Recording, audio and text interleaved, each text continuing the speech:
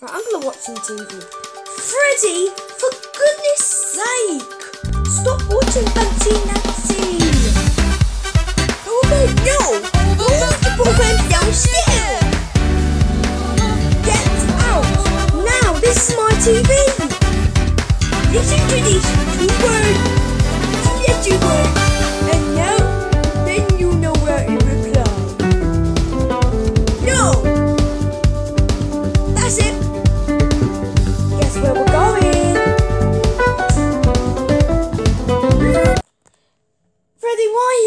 phone? You know you're allowed. You're not allowed to do that.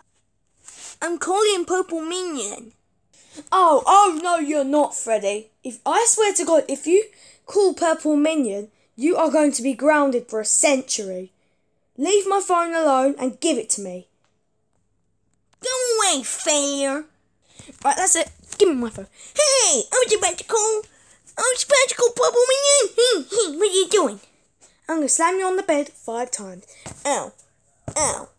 Ow. Ow. Ow. I'm gonna get my.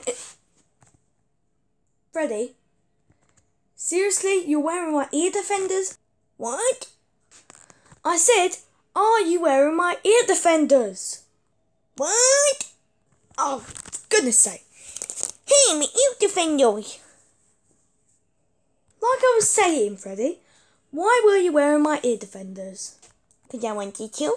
That's not an excuse, Freddie. Tell me, why are you wearing my ear defenders? Shut up. But that's it.